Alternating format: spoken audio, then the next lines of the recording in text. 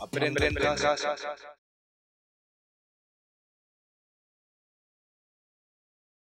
Hola, en este vídeo vamos a visualizar la denaturalización de las proteínas. Sabemos que para que una proteína sea funcional debe tener una estructura tridimensional, pero que condiciones como variaciones de temperatura, la actuación de agentes químicos o la variación del pH pueden hacer que la proteína se denaturalice y pierda su funcionalidad. Vamos a ver tres ejemplos. El primero es muy sencillo. Simplemente ponemos un huevo en la sartén y al calentarlo vemos que tanto la clara como la yema cambian su aspecto. Esa es la señal de que las proteínas del huevo se han desnaturalizado. En el segundo ejemplo mostramos cómo al añadirle una disolución de hidróxido sódico al huevo, tras pasar el tiempo, termina por hacer desaparecer la clara del huevo y por coagular la yema. Muy bien, ya hemos visto que las proteínas se desnaturalizan, pero realmente no hemos comprobado que pierdan su funcionalidad. Vamos a hacerlo con el tercer experimento. Cortamos patatas y ponemos unas pocas en un frasco, añadimos agua oxigenada y vemos que empieza a formarse una espuma. ¿Por qué?